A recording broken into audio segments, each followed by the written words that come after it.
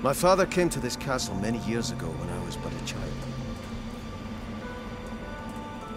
He came to destroy the evil that lives here. He never returned. I have carried this small piece of mirror since I was a boy. It is said it comes from a magical mirror, capable of showing your past and true fate. You have seen it, Marie.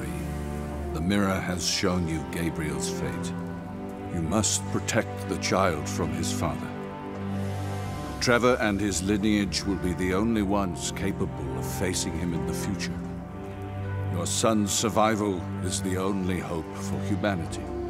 If I have not returned by dawn, take the boy and leave this place far behind.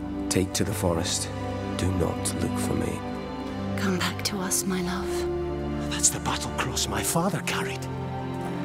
Who are you? This I promise. You shall not stand alone against him.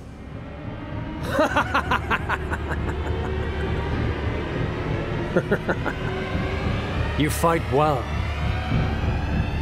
worthy of the name Belmont.